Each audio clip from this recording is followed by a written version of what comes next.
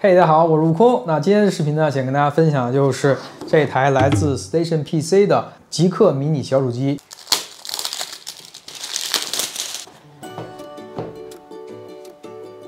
OK，我们在这边可以看到，首先呢是一个 Station P2 的一个说明书。好，它配了一个遥控器，大家可以看到这个说明书上有一个遥控器。好，那这个就是它本体了。哇，大家可以看一下，真的超级迷你啊，超级小。这可能是我见过的最小的一个迷你小主机了。还是老规矩，先看一下接口。那么这边呢，大家可以看到两个千兆的以太网接口，HDMI 2.0的接口。这边当然就是 DC 输入的位置。那这个地方呢，就是 WiFi 天线。那这个小主机是支持 WiFi 六的。那这边呢是一个电源的开关，一个 Type C 的接口。这个 Type C 呢其实也是带 OTG 功能的。然后这边呢同样是一个串口，然后这边还有一个 TF 卡的插槽，还有一个呃音频输出。所以说这个小主机真的是麻雀虽小，五脏俱全。好，我们再看一下其他的。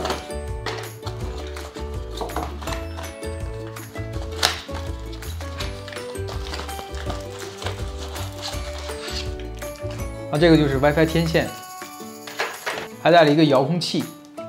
那今天我之所以开箱呢，最主要原因就是这个小主机呢也是可以作为影音系统的一个二十四瓦的小电源。然后它这个接口跟软路由的这个接口应该是一样的，通用的。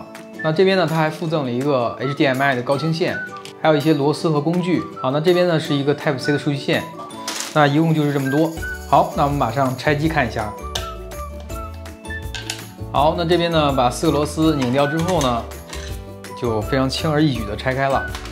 那大家可以看到，这边是带了一个五百一十二 GB 的一个呃二点五英寸的固态硬盘的。那我们再继续拆。好，那现在呢，我就已经把这个二点五英寸的硬盘拆下来了。那后面呢，就是它的排线的位置，具体来说就是这个地方。然后大家可以看到，其实这边呢，它还是保留了这个呃 GPIO 的这个接口，两边都有。然后同时呢，这个地方还是可以加装一个 M 点二的固态硬盘的。那有的人可能会好奇说，CPU 在哪里呢？那大家可以看到，它是一个被动散热的方案，所以说它的这个芯片呢，必然是在主板的另一侧。那这个呢，就不给大家拆机看了，大家可以看啊视频右上角这个图片。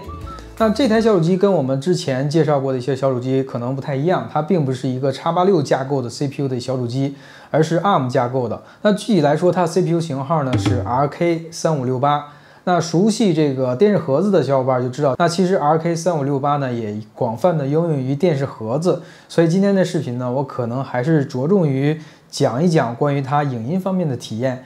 当然了，这个小主机绝对不仅仅局限于这个客厅的这个影音系统，它也是可以安装其他的系统的，比如说 Linux 的无邦图，还有这个游戏机的这个系统 MDIC，或者是软路由系统 OpenWRT Lead，这些都是支持的，甚至还可以支持这个华为的鸿蒙系统。当然，这个鸿蒙系统我看了一下，目前还没有提供下载，可能是在开发当中。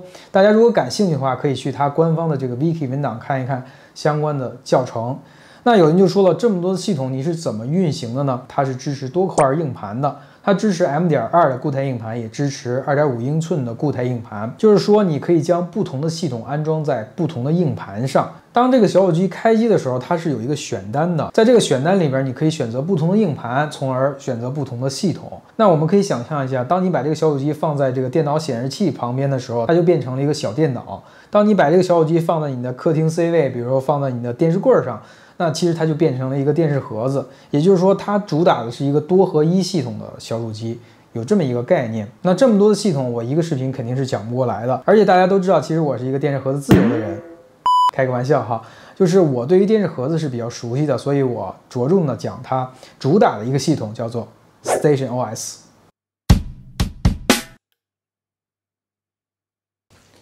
好，刚启动的时候，大家就可以看到它有一个。OS 的 Bootloader 就是系统的启动界面，你可以在这边去选择你想要的系统。如果只有一个系统呢，这边就显示一个选项。好，那整个的这个开机过程呢，我计算了一下，大概也就是十几秒的时间吧。那进去之后呢，就是这样的一个主界面。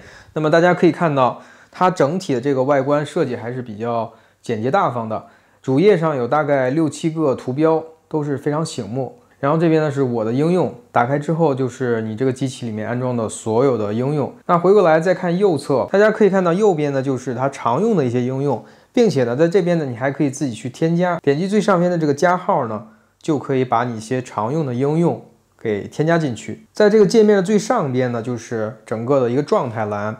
好，这个外观没什么好说的，我们点击这个系统设置看一下。那进去之后呢，就是非常简洁的一个设置界面。那目前我用的是一个网线，所以在有线里面已经分配了 IP 地址。那如果你不用有线的话，用无线也是可以的，并且呢，它这个 WiFi 还是一个 WiFi 六的。最下面是蓝牙，那我想很多小伙伴可能会关心这个蓝牙的问题。其实蓝牙呢是支持多个配件的，比如现在我，大家可以看一下，这个就是我 s h i l d TV 的蓝牙的遥控器。所以这个小的盒子呢，也是支持这个第三方的蓝牙的遥控器的。显示设置呢，毫无疑问它是一个 4K 60赫兹进行显示的。屏幕缩放这个功能呢，它也是保留的。那假如说你的界面不完整的话，也可以用这个方法去稍微的微调一下。再来就是声音方面的一些设置，目前呢是默认的输出，下面还有一个选项呢是源码输出。音量呢，毫无疑问呢，它没有这个 CEC 的音量，它的音量呢就是指这个系统的音量。呃，目前呢，我用的是内部的存储空间，它是一个三十二 GB 的一个存储空间，一般人就是够用了。如果说你还觉得不够的话，你还可以加一个 M 点二的固态硬盘。在这个高级设置里面，我们就可以看到，直接就进入到最原始的这个安卓十一的这个设置界面了。也就是说，原始的这个设置界面它也是保留的。如果你想开启开发者模式，就得进到这个原始的界面里面去找，在系统信息里面就已经标注了 CPU 型号、内存、存储空间。那这边我再插播一句啊，就是这个系统呢，它是比较有特点的一个系统，它还支持这个系统助手。我们点击这个系统助手，那打开之后，你就会发现这个系统竟然可以帮助你去刷机。这边呢，你可以自己选择系统，我们点击选择系统，那这边呢就已经列出了市面上比较常见的它适配过的一些系统，比如说 Linux 的无邦图二十，或者是第三方的安卓十一，就非常齐全。甚至如果说都没有的话，你在这边，你还可以进行文件的选择，选择你硬盘里面的这个镜像，就是这个小功能呢，我认为是比较实用的。当你手边不方便用电脑的时候，用这个功能非常方便。比如说，我要安装在这个 M 点二的固态硬盘上，最后开始制作，然后它就开始下载，下载完毕之后，它就开始写入。那么下次再启动的时候，你就可以选择这个 Linux 系统作为你的这个桌面系统了。我们打开这个我的应用。好，大家就可以看到这边有一个文件管理器。如果你也想下载这个第三方的应用的话，你可以通过文件管理器，然后再加一个 U 盘的方式来安装。当然，你也可以用这个应用推荐里面，我们打开这个应用推荐。好，大家就可以看到，其实它已经给我们推荐了一些应用，已经非常齐全了。比如说优酷、腾讯、爱奇艺，包括当配市场，这里面都有了。点击下载，点击确定。那整个过程呢，它都是在背后进行的。并且呢，这个过程是无感的，安装也是静默安装的。好，那安装完爱奇之后呢，我们简单看一下啊，看看它支持的一些情况。那这边呢，我们可以看到它是支持 4K 的清晰度的，这个肯定是没问题的。不过它这个真气硬化 4K Max HDR 不太清楚能不能支持，呃，我们试一下吧。这个爱奇艺的这个真气硬化呢，我试了一下，就 HDR 是支持的，不过这个杜比音效我点开之后就是没有声音的。所以这个可能还存在了一定兼容性的问题吧，不过其实问题不大啊，因为其实大部分人是不会用到这个功能的，而且 这个 HDR 相对于这个我们自己下载那个 HDR 还是有很大差距的啊，我就不一一给大家试了，这些基础的功能肯定都是支持的。我们来测试一下这个本地视频的这些影片。那说到这个本地视频呢，我们就想到了它自家这个影库，看看它表现怎么样。好，那点击影库之后呢，你看到这个画面呢，就是我之前读取的 NAS 中的一些影片。那目前大家也可以看到，有些呢它是没有正常识别的，所以它这个海报墙呢还没有那么的完整。然后这边是影库的管理。我们可以在这个影库管理里面去添加我们想要的影片，它是支持这么多种方式的。比如说，它可以从内置存储去读取影片，或者是 M 点二的固态硬盘读取影片。当然，也可以支持这个 DLNA。那如果你家里边有玩客云或者是自建的这个 MB 服务器的话，这边都会列出来。当然，我觉得最常用的还是 SMB 的这种局域网共享。但是这边我点击之后发现就是获取文件失败，它可能是一个 bug。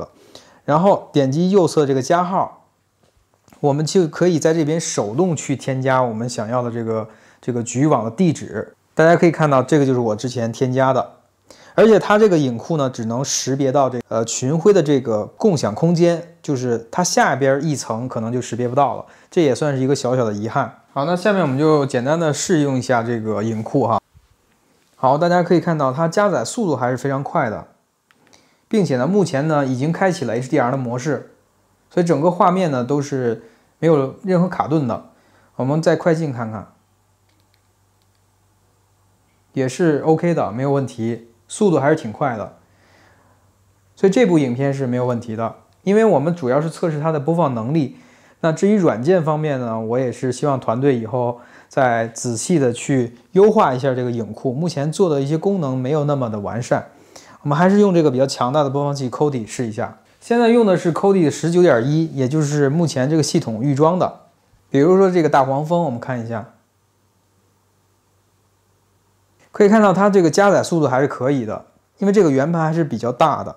好，那目前呢就已经成功的加载出来了，所以它播放这个圆盘也是 OK 的，用 Kodi 去播放也是没有问题的，呃，几乎是没有什么卡顿的。目前呢我是用的网线，因为它带了一个千兆的这个网口，所以说我们直接用网线去操作。那呃，目前局域网播放起来跟本地是差不多的，也已经打开了这个 HDR 模式。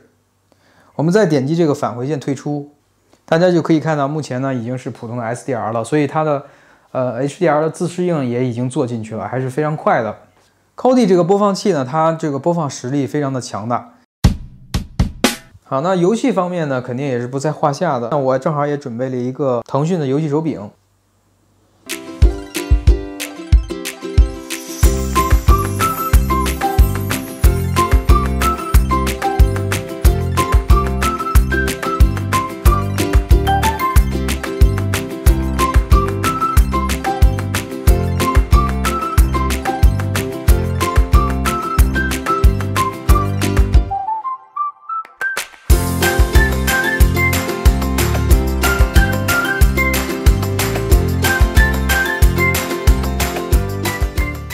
好了，那终于到了这个最后的总结时间了。那这边呢，我想总结一下它的优缺点。当然，这个优缺点呢，只是针对于它作为电视盒子这个场景。优点方面，首先第一点呢，大家可以看到它的这个接口异常的丰富，所以说它的可扩展性非常强。无论是接 U 盘呢，或者是接移动硬盘，都是没有问题的，而且还支持 TF 卡。那第二点呢，就是它这次创新的加入了这个多系统的启动菜单。这样的话，即便你是个小白，你都可以非常轻松的上手。第三点呢，就是它如果作为电视盒子的话，它的配置实在是非常的强，内存和硬盘最高的顶配呢，能够达到八 G 加一百二十八 G，所以它的配置是毋庸置疑的，非常的高。那最后再说一点，如果你把它放在客厅接上网线之后，甚至可以作为一个远程的下载器来使用。无论你身在何处，你都可以这个打开手机去看它的下载进度，包括控制它的暂停或者是下载。好了，说过了优点之后，必须要说几点缺点。那第一点呢，就是它作为电视盒子没有这个 HDMI CEC 的功能，我觉得还是有点遗憾的。那毕竟现在很多人都习惯使用一个遥控器去控制。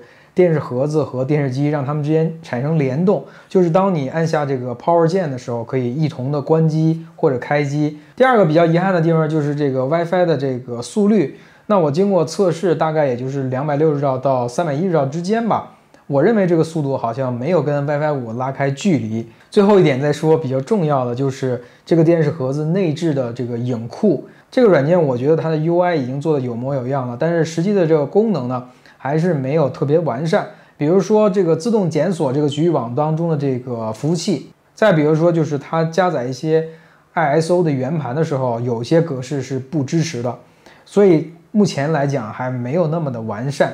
当然了，它也有一个好处，就是我发现它的这个影库提取出来放在其他的电视盒子上也能运行。那这个我觉得，如果说有一天他们把这个影库做好的话，那我相信。